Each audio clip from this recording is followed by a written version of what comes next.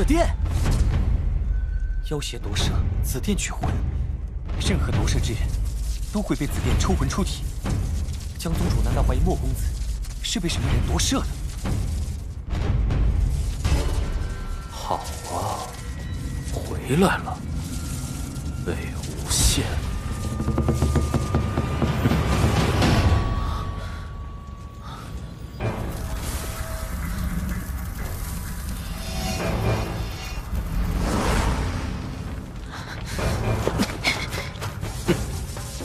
想跑？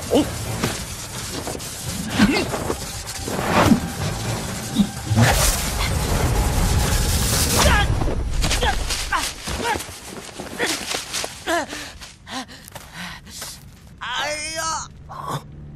啊！家大势大就了不起啊，随便打人啊，不要脸！怎么可能？为什么没有反应？废话，紫电当然抽不出我的魂来，我这可是现世，强行现世。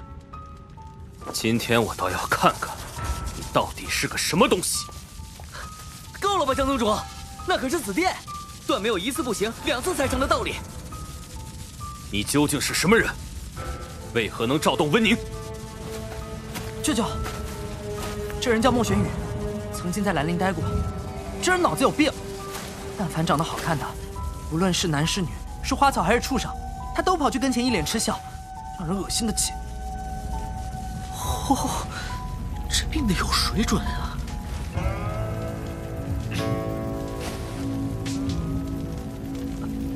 哎，就是就是，魏无羡人品再差，好歹也是个风流公子，最爱和美貌女子不清不楚。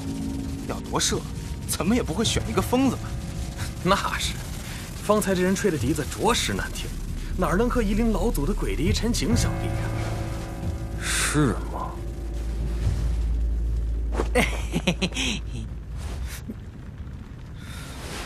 无论如何，他也是个邪魔外道，带走。是。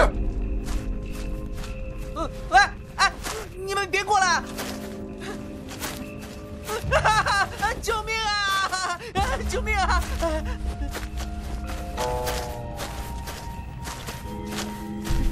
你们要干什么？干什么？蓝二公子，你是存心要和江某过不去？江宗主，这莫公子并未被夺舍，你又何必为难一个籍籍无名之徒？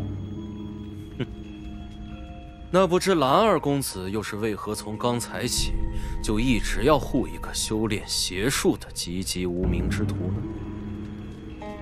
虽修非常道，但行正义事，于情于理，当致谢意。就是就是，人家救了我们好几次，刚才又救下了金陵。那个江宗主，你这样纠缠我，我很为难的。我也不是长得好看的都喜欢，像村里那头大笨牛，长得膘肥体壮，我就不喜欢。你，我也不喜欢。